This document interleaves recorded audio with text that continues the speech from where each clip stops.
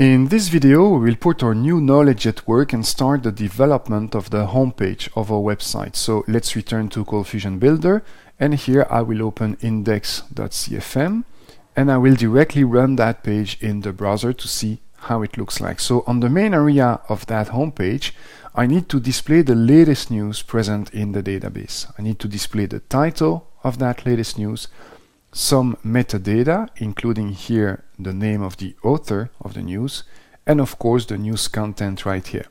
So let's return to ColdFusion Builder and the first thing that I will do is selecting here that static content and delete it from the page. So I leave the home content div here completely empty and at that location I want to display the latest news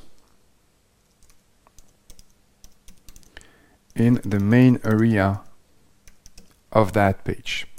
Now let's return to the components folder. And in the components folder, let's take a look at the news service.cfc component. In that component, I have a couple of methods available to retrieve news from the database, but none of those methods can be used to retrieve only the latest news. I do have this get latest news method, but this method currently retrieves all the news from the database, not only the latest news.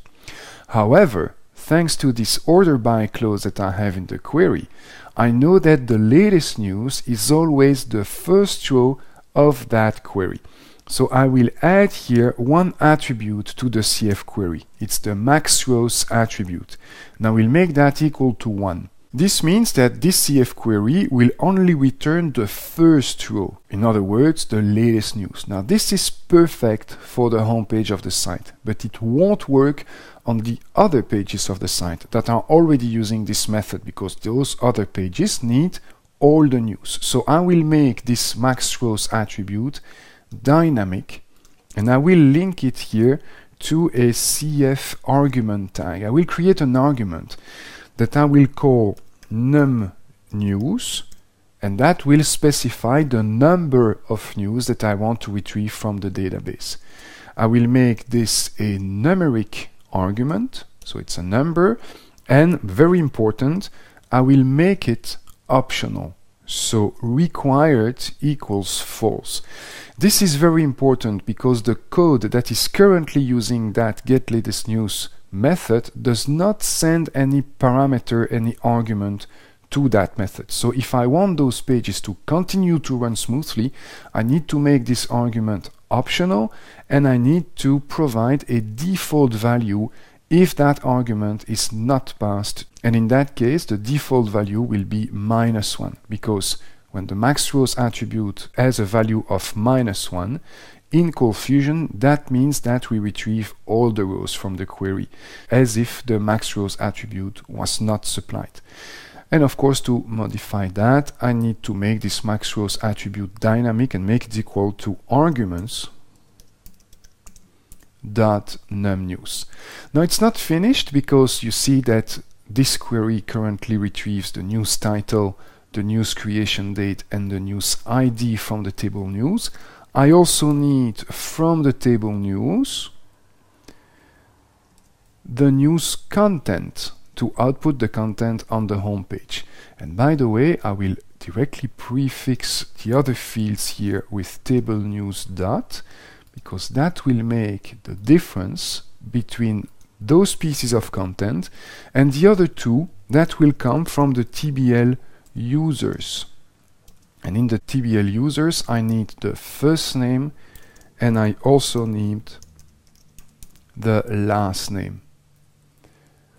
Now to make it work, I also need to modify the from clause of that query. So I retrieve some pieces of data from the news table and I need to apply an inner join to the users table. Then I need to specify that on the news side of the relationship, I have this news author field and it has to be equal on the user side of the relationship to the user ID.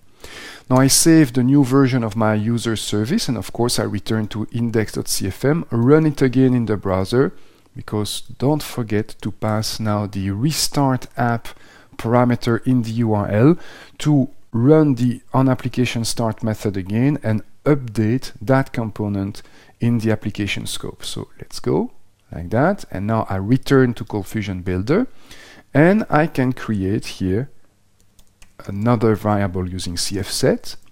I will call that variable latest news and I will make that equal to application.newsService dot get latest news and I will pass a parameter here. I will pass one because I only want the one latest news from the database. Now that the data is available to the page I can safely output that data. So let's return to news.cfm because right here I have a CF output block that outputs a single news on that page. So I will copy paste those few lines of code right here. The only thing that I will change is the query from which the data is retrieved. So I will just change here rs single news, which is the name of that variable on the news.cfm page, by latest news. That is the name of the variable here on the home page. So let's change that everywhere. There we go. So now if I save and run index.cfm, you see that I do retrieve the latest news from the database thanks to the changes that I have made in my component.